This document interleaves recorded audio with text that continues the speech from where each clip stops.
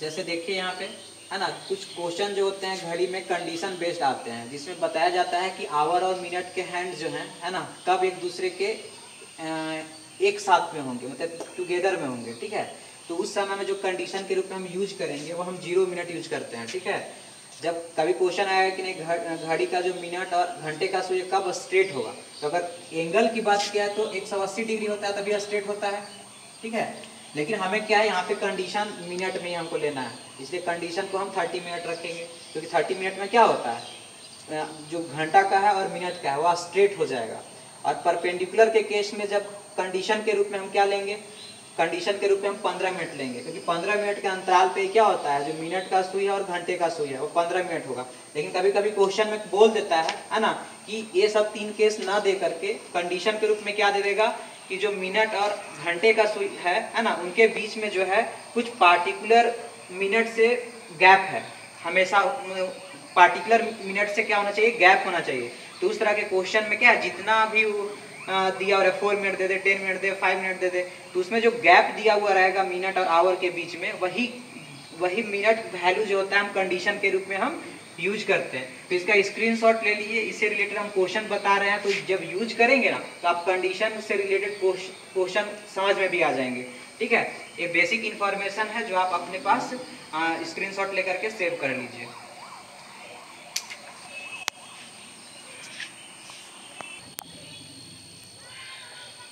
जैसे क्वेश्चन मैं लिख दिया हूँ, ठीक है? आपके स्क्रीन पे शो कर रहा होगा। इसमें जो पूछा गया क्वेश्चन में वो क्या है देखिए, दस और ग्यारह बजे के बीच घड़ी की दोनों सुइयाँ कब आपस में मिलेंगी, ठीक है? तो आपस में मिलेंगे तो हम अभी कंडीशन से रिलेटेड जो इन्फॉर्मेशन था, पीछे में पीछे पीछे जो आप स्क्रीनशॉट लिए होंगे, उसमें क्या था? कि कब ये दुनिया कब ये जो सुइयाँ हैं आपस में मिलेंगी, ठीक है? तो यहाँ पे सुइयाँ आपस में मिलेंगी, इसका मतलब है कि उनके बीच जो कौन होगा, है ना वह ज़ीरो डिग्री होगा कौन ज़ीरो डिग्री होगा और उनके बीच जो मिनट का गैप होगा, वो भी ज़ीरो मिनट होगा। ठीक है? इसका मतलब जो एक साथ मिलेंगी, वह उसके लिए कंडीशन क्या है? ज़ीरो मिनट यूज़ किया जाएगा। कंडीशन क्या हो जाएगा? ज़ीरो मिनट यूज़ किया जाएगा। ठीक है? लेकिन ज़ीरो मिनट तो कंडीशन हम यूज़ कर लिए। ठीक है? लेकिन अब इस क्वेश्चन को सॉल्व करने के लिए जो पार्टिकुलर फॉर्मूला होता है है ना? उसको भी मैं यहाँ लिख रहा हूँ, उसको देखिए। और सभी तरह के क्वेश्चन जो है, इसी फॉर्मूले से बनेंगे, जो कंडीशन बेस्ड होंगे। है ना? बारह बाई ग्यारह गुने, ठीक है? नेट गेन या मूव? तो बोलते हैं नेट गेन या मूव बोलेंगे। लेकिन अब प्रश्न उठता है ना कि नेट गेन और मूव को हम कैसे फाइंड करें? तो उसके लिए मैं फॉर्मूला भी यहाँ पे राइट डाउन कर दे रहा हूँ। नेट गेन और मूव के लिए, है ना? एक्चुअल गेन या एक्चुअल मूव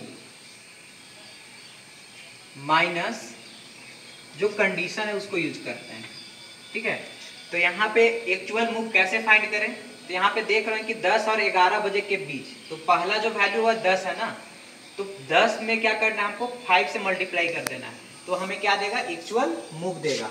इसका मतलब है कि हम एक्चुअल मूव को क्या करते हैं? जो वैल्यू पहली वाली जो वैल्यू होगी दस और ग्यारह तो पहली वाली वैल्यू कौन है? दस बजे है है ना? तो दस में क्या है हम? फाइव से मल्टीप्लाई करो तो ये मेरा एक्चुअल वैल्यू देगा, ठीक है?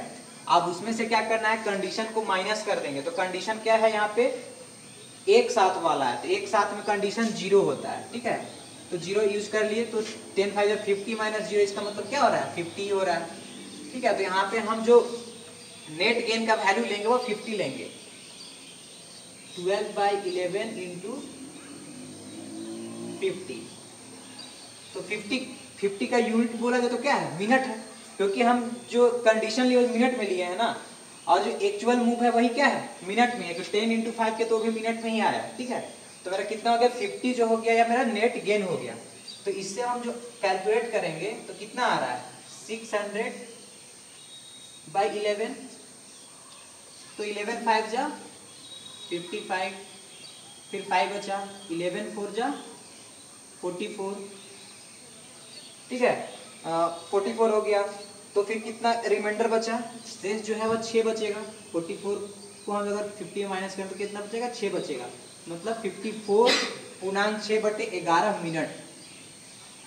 जो होगा, इसका मतलब है कि दस बजे के बाद, है ना, चौवन पूर्णांक छः बटे ग्यारह मिनट जब हो जाएगा, है ना तो ये जो दोनों सुइयाँ हैं, कौन कौन? दोनों सुइयाँ इसका मतलब इसमें, दोनों सुइयाँ बोला गया, इसका मतलब है कि घंटे की सुई और मिनट की सुई, है ना? वह एक साथ हो जाएँगी। चौवन, पूर्णांक छः बटे ग्यारह मिनट में दोनों एक साथ हो जाएँगे। तो मेरा जो ऑप्शन है, पूछ रहा है कि कितने बजे आपस में मिलेंगी, है ना? तो दस में क्या करना है? ए वाला को अटैच कर देना है। मतलब दस बज के, है ना? चौवन, पूर्णांक चौवन, पूर्णांक छः बटे ग्यारह मिनट पे जो है ये घड़ी की सुइयाँ एक साथ हो जाएँगी, ठीक है? आप कंडीशन बेस्ड में दूसरा क्वेश्चन भी आपके स्क्रीन पर लिख रहा हूँ, ठीक है? उसके बाद उसको भी आप लोग बनाने का प्रयास कीजिए, मैं एक मेन कंसेप्ट दिया, उसी आधार पर वो भी क्वेश्चन होंगे, ठीक है? तो उस और आप लोग मेरे से पहले बनाने का प्रयास कीजिए क्योंकि मैं तो सबको समझा रहा हूँ, इसलिए मेरे को तो समय लगेगा, है ना? इसलिए आप जल्दी से रेडी करके रखिए तो आपको कॉन्फिडेंस आ जाए कि हाँ सर एक बार बताया, मैंने कैच कर लिया। नेक्स्ट क्वेश्चन आप देख रहे हैं, जो मैं ब्लैक बोर्ड पर लिख दिया हूँ, आपकी स्क्रीन पे शो कर रहा होगा। ठीक है, इसको पढ़िए, ठीक है? और इसको समझ करके इसको सॉल्व कीजिए। इस बीच में कुछ मैं आप लोग को एक नया इन्फॉर्मेशन जो बहुत ही खुशखबरी की बात है, आप लोग को सुनाना चाहता हूँ, ठीक है? मैंने सोचा है कि नए साल के शुभारंभ में आप लोग को नए साल का जो ग्रीटिंग्स है है ना? मैं एक नया प्रयास करके शुरू, देना चाहता हूँ, ठीक है? वह क्या होगा, मैं उसको, मुझे बताते बहुत खुशी हो रही है कि आने वाले जो नए साल है, उसमें मैं कोशिश करूँगा कि मैं डेली बेसिस पे या एक दो दिन के अंतराल पे करंट अफेयर्स का भी वीडियो लाऊँगा, है ना? जो आपके कम्पिटेटिव एग्ज़ाम के लिए जो है, वो बहुत ही लाभकारी और उपयोगी होंगे, ठीक है? तो आप लोग को तो खुशी हुई होगी, है ना? आप अब क्या है कि नए साल का इंतज़ार कीजिए और नए साल में मैं खुशखबरी आप लोग को जो है अपने चैनल के माध्यम से दूँगा। जैसे इस क्वेश्चन को देखिए क्या है? 11 और 12 बजे के बीच घड़ी की सुइयाँ किसी समय परस्पर 180 डिग्री का कोण बनाती हैं। बताइए वह समय क्या होगा? तो बोला कि 11 और 12 बजे के बीच सुइयाँ क्या है? परस्पर 180 डिग्री का कोण बनाती हैं। तो 180 डिग्री का कोण बनाती है, इसका मतलब क्या हो गया? 180 का मीनिंग हुआ कि वो जो सुइयाँ होंगी मिनट और आवर की मिनट और आवर की जो सुइयाँ होंगी, है ना? वह एक दूसरे के अपोजिट होंगी। ठीक है? तो मान लीजिए ऐसे क्या है? मिनट का हो गया और ये क्या हो जाएगा? आवर का हो जाएगा। ये मान लीजिए आपका क्या है? घड़ी है। तो कब एक सौ अस्सी डिग्री का कोण बनाएँगी? ठीक है?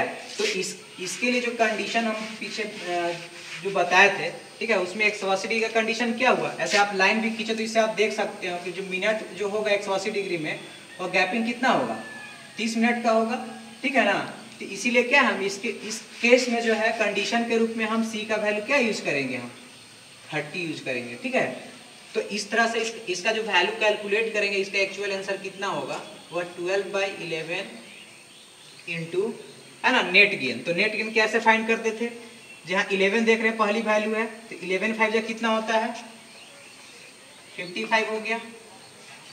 है ना? माइनस क्या करना है? थर्टीन करना है। माइनस कितना है? थर्टी ठीक है? तो कितना आ रहा है वैल्यू देखिए? Twelve by eleven into fifteen हो गया यहाँ पे। Five five three two twenty five होगा। सॉरी ट्वेंटी फाइव अब इसको मल्टीप्लाई करते तो कितना आएगा? Twenty five into twelve three hundred by eleven अब इसको कैलकुलेट कीजिए, कितना आ रहा है पूर्णांक वैल्यू इलेवन टू जा ट्वेंटी टू जो रिमाइंडर बचा, कितना बचा? एट एटी हो गया। फिर क्या हो जाएगा? इलेवन सेवन जा सेवेंटी सेवन इसका मतलब शेष जो बचा हुआ कितना है? थ्री थ्री बाई इलेवन हो गया। ठीक है? मतलब जो, ये फाइनली जो आया वैल्यू क्या है? ये मिनट आ गया। सत्ताईस पूर्णांक तीन बटे ग्यारह मिनट तो यहाँ पे आप ऑप्शन में देख सकते हैं कि, है ना, कि ग्यारह में अगर हम सत्ताईस पूर्णांक तीन बटे ग्यारह मिनट अगर आगे बढ़ेंगे तो ऑप्शन कौन सा आएगा? ऑप्शन नंबर ए हो जाएगा। तो देखिए, कितना क्वेश्चन सॉल्व करना इजी है। अगर आप इस इस तरह के कंडीशन इस तरह के क्वेश्चन का जो कंडीशन है, उसको आप समझ जाइएगा, है ना? तो क्वेश्चन सॉल्व करना इस फॉर्मूला बेस्ड पे कितना आसान है। ये जो वैल्यू देगा, वो बताएगा कि हाँ कितने मिनट बाद जो है ना पार्टिकुलर कंडीशन क्या हो जाएगा? ट्रू हो जाएगा। इसका मतलब है कि पार्टिकुलर मिनट आंसर देगा। क्या देगा ये? पार्टिकुलर मिनट देगा। तो वही हम यहाँ पे लिखे three three hundred by eleven क्या हो गया? ये मिनट हो गया। ठीक है, अब नेक्स्ट क्वेश्चन हम स्क्रीन पे लिखते हैं।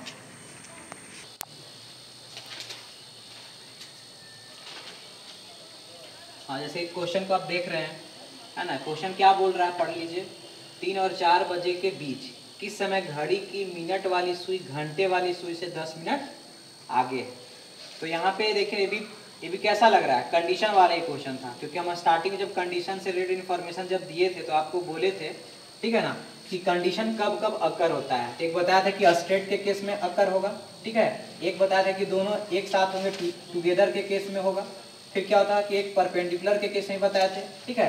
तो सब, सभी जगह हम क्या बोले थे कि यहाँ ज़ीरो मिनट का गैप होगा, यहाँ पे तीस मिनट का गैप होगा, यहाँ पे पंद्रह मिनट का गैप होगा नाइन्टी के केस में। तो वही अब यहाँ पे एक और भी कंडीशन दिए थे, है ना, कि जो घड़ी में जो घंटे की सुई है और जो मिनट की सुई है है ना, उसके बीच में बोल देगा कि क्या है? इतने मिनट का गैप है, या तो आगे बोलेगा या पीछे बोलेगा। जब भी पंद्रह या पंद्रह से छोटा कोई भी मिनट होगा तो समझ जाइए है ना, कि उसका जो होता है, दो आंसर हो सकता है, ठीक है? है ना तो दो तरीके से कैलकुलेट करेंगे, ठीक है? लेकिन यहाँ पे जो जो आएगा आंसर दो में से कोई एक ही दिया हुआ रहेगा या दोनों भी हो सकता है। लेकिन यहाँ पे ऑप्शन जो है ए बी सी और डी अलग है है ना? अलग अलग है और कहीं डी ऑप्शन में ऐसा नहीं है कि ए और बी दोनों होगा, है ना? इसका मतलब है कोई एक केस होगा। तो आप दोनों से आपको ट्राई करना है। तो पहले क्या होता है कि कि यहाँ पे क्वेश्चन को आप देख रहे होंगे, ध्यान से पढ़ रहे क्यों इसका आंसर एक ही है? क्योंकि इस समय घड़ी वाली घंटे वाली सुई से दस मिनट आगे है है ना? मतलब कह रहा है कि पहले क्या है कि कि घड़ी का जो मिनट वाली सुई है, मिनट वाली सुई यहाँ देख रहे हैं, मिनट वाली सुई जो है है ना? वह दस मिनट आगे है किससे? घंटे वाली सुई से, है ना? घंटे वाली सुई से आगे है। इसका मतलब घंटे वाली सुई पीछे हो गई और मिनट वाली सुई आगे हो गई। लेकिन इसका केस हम दो इसलिए बोले कि हो सकता है कि मिनट वाली सुई क्या है? कहीं दूसरे क्वेश्चन में बोला है कि दस मिनट पीछे है। तो मिनट वाली सुई यहाँ दस मिनट पीछे मतलब ऐसे देख लाना पड़ेगा। समझ गया ना? इसका मतलब इसका दो केस बनता है, लेकिन क्वेश्चन यहाँ बोल रहा है आगे वाला केस। तो आगे वाला केस के अनुसार ही हम क्वेश्चन को इसमें हम सॉल्व करेंगे, ठीक है? तो यहाँ जो है बोला कि दस मिनट का गैप है। तो इसके लिए जो फॉर्मूला भी बताए थे कि twelve by eleven into net gain तो नेट गेन कैसे निकालेंगे? Actual move actual move minus क्या? कंडीशन तो थ्री फाइव जा कितना हो जाएगा? फिफ्टीन थ्री फाइव जा क्या हो जाएगा? फिफ्टीन हो जाएगा, ठीक है? लेकिन ये बोल रहा है कि आगे बढ़ने पे, ठीक है? तो यहाँ पे माइनस ना करके यहाँ पे कंडीशन को क्या करेंगे हम? ऐड कर देंगे। अगर रहेगा तो पीछे बोलता तो माइनस टेन करते, ठीक है? लेकिन यहाँ पे क्या बोल रहा है हमको? आगे बढ़ने के लिए बोल रहा है। इसका टेन को हम इसमें ऐड कर दिए। तो कितना आ रहा है देखिए? Twelve by eleven into twenty five इसका मतलब थ्री हंड्रेड बाई इलेवन तो वैल्यू कितना देगा? उसका पहले भी हमको लगता है यही वैल्यू कैलकुलेट किए थे। तो क्या था? इलेवन टू जा ट्वेंटी टू हो गया, है ना? फिर रिमाइंडर किया एट बचा eighty twenty eleven eight eleven seven जा सेवेंटी सेवन मतलब थ्री रिमाइंडर बचा। तो ए वाला वैल्यू आ रहा है ट्वेंटी सेवन पूर्णांक तीन बटे ग्यारह मिनट आ रहा है। ठीक है ना? तो इतने मिनट के बाद मतलब तीन और चार बजे के बीच में, है ना? तीन से इतना मिनट आगे जाएँगे, है ना? तो इनके जो घड़ी, इस घड़ी के जो मिनट और घंटे के बीच का सुई का जो गैप होगा वह दस मिनट का होगा, है ना? लेकिन यहाँ प्लस कर दिए हैं, इसका मतलब है कि यहाँ पे मिनट वाली सुई, क्या है? घंटे वाली सुई से दस मिनट आगे होंगी, ठीक है? तो इसका आंसर क्या हो जाएगा? ऑप्शन में आप देख रहे हैं ट्वेंटी सेवन पूर्णांक तीन बटे ग्यारह कहीं होगा, देखिए। तीन तीन बजकर, है ना? ट्वेंटी सेवन पूर्णांक तीन बटे ग्यारह मिनट पे जो है तीन और चार के बीच में मिनट वाली सुई जो है घंटे वाली सुई से दस मिनट आगे होंगी। ठीक है एक नया क्वेश्चन फिर से हम स्क्रीन पे लिख रहे हैं। हाँ इस क्वेश्चन को देखिए जो पीछे वाला क्वेश्चन था, था थ्री नंबर उसमें क्या था? थ्री नंबर वाला केस में क्या था कि आगे का केस देखिए चार मिनट क्या है वह आगे होगी। ठीक है यहाँ पे केस क्या आ रहा है कि जो मिनट वाली सुई है है ना वह घंटे वाली सुई से क्या है? चार मिनट पीछे है, ठीक है ना? तो इसमें इसमें हम कैसे कैलकुलेशन करेंगे? आप देखिए, समझिए। ट्वेल्व बाई क्या होगा? इलेवन है ना? नेट गेन ठीक है? इसमें नेट गेन में क्या होगा? जब पीछे का केस हो रहा है, इसका मतलब इसमें हम माइनस करेंगे, ठीक है? तो थ्री फाइव या कितना हो जाएगा? फिफ्टीन हो जाएगा, है ना? माइनस कंडीशन तो कंडीशन यहाँ पे कितना आ रहा है? चार मिनट पीछे का आ रहा है। इसमें हम फोर को हम माइनस कर देंगे। तो अब इसको कैलकुलेट करना है हम लोग को twelve by eleven into fifteen minus four तो कितना हो रहा है? इलेवन हो रहा है। तो इलेवन से इलेवन क्या होगा कैंसिल आउट हो गया। तो यहाँ पे क्या आ रहा है? ट्वेल्व मिनट आ गया, देखिए। कितना आसानी से, कितना जल्दी आ गया। मज़ा आ गया होगा। तो ऐसे ही आप समझ गए तो क्वेश्चन को सॉल्व करने में मज़ा हमेशा आएगा। और आप में प्रेशर आप आप पे क्या है? कभी भी एग्ज़ाम में प्रेशर नहीं बनेगा। आप कंप्लीट कंसेप्ट लीजिएगा तो एग्ज़ाम में आपको डर नहीं लगेगा प्रेशर नहीं बनेगा। ठीक है? और कभी ऐसा फील नहीं हुआ कि हम उस टॉपिक को हम नहीं देख पाए एग्ज़ाम के समय? कोई ज़रूरी नहीं कि एग्ज़ाम के समय आप पूरा चीज़ रिवीजन ही कर लीजिए है ना? लेकिन आप, आप अगर क्या है किसी भी चीज़ को अगर अच्छी तरह से समझ चुके रहेंगे ना तो एग्ज़ाम में आपके डर बिल्कुल नहीं सताएगी ठीक है? क्योंकि आप उस पर जो भी आपका सिलेबस है सिलेबस के चीज़ को आप अच्छी तरह से समझ चुके हैं। बस उसी चीज़ को आप रिवीजन करने की ज़रूरत है जिसमें आपको डर लगता है। हर एक चीज़ को रिवीजन करने की आवश्यकता है एग्ज़ाम के समय। या आपके जस्ट पहले नहीं है, जिसमें आपको डर है कन्फ्यूज़न है, उस चीज़ को आप देख सकते हैं। लेकिन ये रीजनिंग और मैथ में क्या होता है? कन्फ्यूज़न नाम का चीज़ होना ही नहीं चाहिए, मेरे अनुसार। क्योंकि मैं जब क्लास लेता हूँ तो कोशिश करता हूँ कि पूरा का पूरा कन्फ्यूज़न क्या है? अपने कैंडिडेट का हम सॉल्व कर दूँ, ताकि एग्ज़ाम में वो बिल्कुल क्या है? कॉन्फिडेंस के साथ क्वेश्चन को अटेम्प्ट करें, है ना? और सही तरह तरीके से अटेम्प्ट करें, और समय का भी बचत करें।